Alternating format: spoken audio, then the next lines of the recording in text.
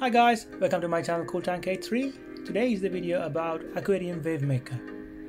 It circulates the water moving in the tank, which mean the debris and food waste or poop trapped in the surface of your tank, which help to push out and eventually find its way to intake of your filter. We are to place it angle on top facing upward for the surface of your tank for the surface agitation on the same side of your filter intake so that it will give you nice wave which will help or allow surface agitation and oxygen to enter into the tank and CO2 to exit.